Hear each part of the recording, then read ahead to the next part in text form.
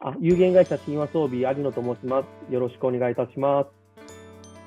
ちょっとあの、今日、前半お聞きしてて、あの、えー、っと、切り口が違うかもしれませんけど、また参考になればと思いますので、よろしくお願いします。えー、まず自己紹介ですね。あの、有限会社神話装備で、三つで、あの、営業しております。あの、有野と申します。あの、1994年に、まあ、携帯ショップを先代が始めまして、私がまあ98年に入社して、まあ、以後、あの前職の魅力情報サービスの、あの特約店を私が、えー、引き受けて営業してる中、あの2019年にですね、ちょうどコロナ前だったんですけど、au ショップを事業上として今、RTA の営業しております。えー、で2023年には今、楽々販売とか楽々給与をよく宣伝でやっているようなものも取り扱いを始めました。でまずあの流れとしましては SNS の、えー、参加者同期と SNS をのセミナーを通して Facebook を続けている理由についてっていうところそれと動画編集を探したのもあって今回あのあ前回あの受けさせてもらったんですけど最終的にあの B ラブさんがあの学習で使われているブロについた理由っていうところもあのご案内した上で、最後今後の展望についてというところで、えー、進めさせていただきます。SNS のセミナーに参加した動機なんですけども、市場戦でこう外回り営業してただけではなかなか、えー、理解されていなかったっていうところですね。そもそもその RPA って何なのから入られてしまうので、あのそこの説明からするのをあの SNS で使ってやる方法ないかなと頭で考えてたところに B ラブさんとあの出会ったという次第です。2月、3月、営業先のあの業種が非常に忙しい時期だったので、セミナーがたまたまその時期にピタッとはまったんです。この日頃だと出れてないと思うんですけど、この時期だったら出れるということで、えー、迷わずすぐにあの申し込みをしました。でやあの先ほど申し上げた通り、ビデオ編集やあの PC の画面の録画を編集したりするのが目的だったので、パソコンでこう行われる動画編集を学びたかったということをずっと B ラブさんにもお伝えしてました。SNS に対してあの懐疑的な考えがあったんですね。まあ、実はあの前職のその携帯電話ショップではやっぱ SNS の被害に遭った方とかがいらっしゃったんで、あんまりイメージ持ってなかったんですけど、それがここのセミナーを通して一気に払拭されたので、あの本当受けてよかったなと思います。でセミナーを通してあの Facebook を毎日続けている理由についてなんですけども、あの西先生がですね、西先生で言ってしまった西さんですね、西さんにあの特効薬ではなくあの SNS は漢方薬ですよで毎日継続していくことによって広がりが必ず出てきますよっていうことを、えー、一番初めのセミナーで聞かせていただきました。でなんか持って帰りたかったので、まあ、これを信じてやってみようと思って、あのー、やろうと理解しています。まあ、信じ、あちょっと信行下って書いてますけど、あの信じてこう行ってから分か分かるパターンかなと今回のケースはと思ったんです。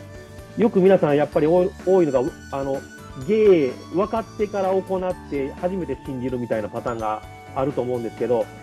この Facebook とか SNS はやっぱりやってみないとわからないし、やったもんしか残らないというこう特徴的なものなので、もうぜひあのお勧めしたいなと思います。で、これちょっと実はパクってきたんですけど、あの、えー、B ラブさんの資料にあったやつなんですが、やっぱりあの、発信することによって4ヶ月過ぎてみると、あの、ビジネスにはまだ繋がってないんですけど、その不特定多数のところから知ってもらうところが出てきているのかなっていうのが感じてまして、Facebook であの名刺交換してない方にあの声かけられたりとかして、ちょっとびっくりしているようなところもあります。えセミナーを通してあの動画編集ソフトが一番キーにあのなるので、えー、卒業後にちょっと3ヶ月間ちょっと丁寧に調べました。ビーラムさんからもアドバイスいただいたんですけど、あの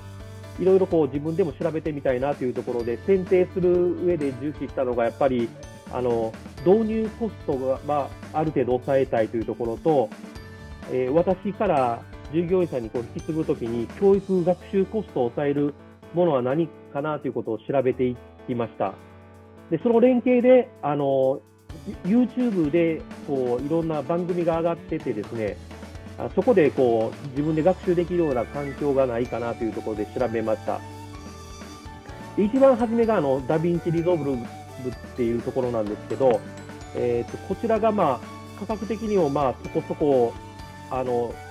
思ってたより安くてですねいいかなとは思ったんですけどやってみやってみたんですけど結構中が細かくて難しかったです正直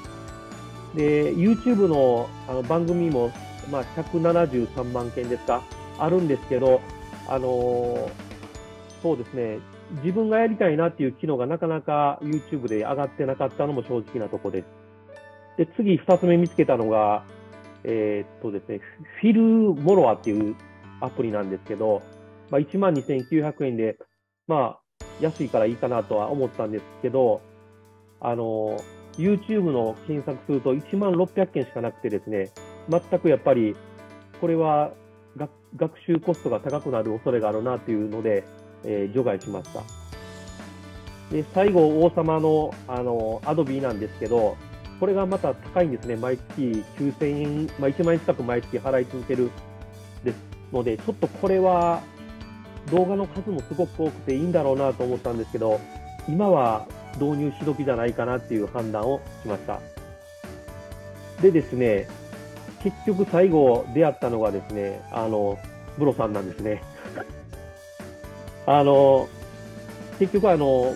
B ラブカンパニーさんで教えていただいたブロが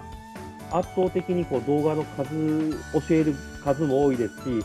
特に女性の方の YouTuber が多いのか、非常にこう簡単に視覚的に教えてもらえるのがあるのと、あのコスト的にも確か4900円ぐらいだったんですかね、無制限で。え使えるので、もう、ま、迷わずこれにしようということで、最終3ヶ月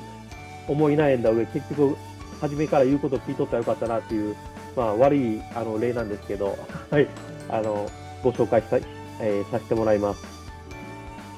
で、行き着いたらもう本当、研修で教えてもらったブローさんということですね。で、まあ、今後の展望なんですけど、今、個人の Facebook は毎日上げてるんですけど、企業用がまだちょっとできてないところがありまして、あのー、今ちょっと試行錯誤をしているところです。で会社を会社のブログについては、あのー、週に1回更新して、あの、アクセス数を増やしていこうかなと思ってます。で、またそのツールとして、やっぱ YouTube に、その RPA のコンピューターの自動化システムですね。こちら、まあ、そんな難しいことではないんですけど、人の手で動かしている作業をあの覚えさせるだけなんですけど、それのデモ用動画を整えていって、あのいろいろこうビジネスとかお問い合わせいただいた時の説明とかに使える動画を作っていきたいなと思ってます。で最後になりますけど、Facebook、X、あと、新和装備のホームページありますので、今、撮影し時なんで、ぜひ、あの、フォローしていただければと思います。